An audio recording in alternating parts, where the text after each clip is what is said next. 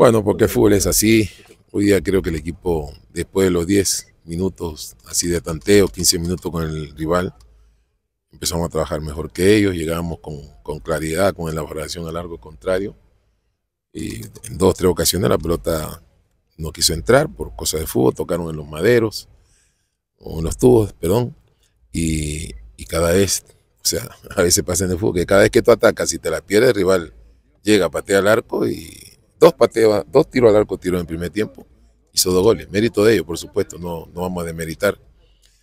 Y después nos quedamos con 10 en una, en una dureza del árbitro contra nosotros porque eh, Saldaña había sido duramente castigado dos veces allá en la esquina, en el lado izquierdo, y solo sacó a María y cuando él primero llegó a la pelota y después chocó con el rival, le sacó la roja. Ya con 10 hombres contra cualquier equipo es difícil.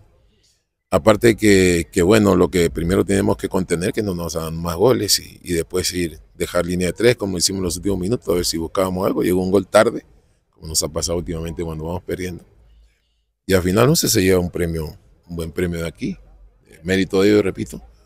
Pero otra vez el hábito, al dejarnos con 10, este, la historia va a decir que, perdimos. Pero jugar un, un tiempo con 10, nada no pasó en Dragón otra vez. Intentamos, luchamos, pero fue difícil. Por eso te digo, no, no está para nosotros. En muchos partidos acá hemos, hemos tirado tiros al palo que, no hubiera posibilitado tener tranquilidad. Y hoy día fue igual. la pelota no entró.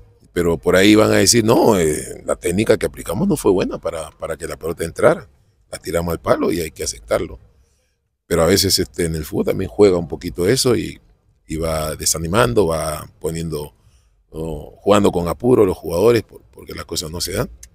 Pero bueno, hay que seguir. Estamos en una situación difícil. Lo único que queda es seguir trabajando, recuperar la gran cantidad de lesionados que tenemos, que ha sido uno de los factores pues, por no, de no tener de repente mejor puntuación. Lo que pasa es que hoy día entrenaron en la cancha. Hoy entrenaron en la cancha y, la cancha, la verdad, no es como antes, que, que FAS tenía eh, prioridad, digamos. ¿no? Hoy en día hay que se entrenar afuera porque la cancha la usan también otros, otros equipos. Pero igual agradecemos al alcalde los días que nos da, pero no es como antes que uno, uno podía entrenar aquí el, el día y la hora que, que, podía. Y lastimosamente ahí ese Borne provocó un gol, eh, el segundo gol, que ya le dio tranquilidad a ellos.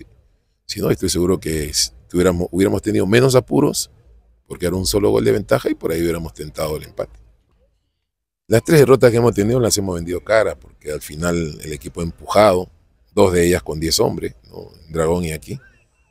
Eh, pero el, el, problema es que cuando es nuestro mejor momento no tenemos la fortuna de anotar y eso el fútbol te lo castiga, ¿no?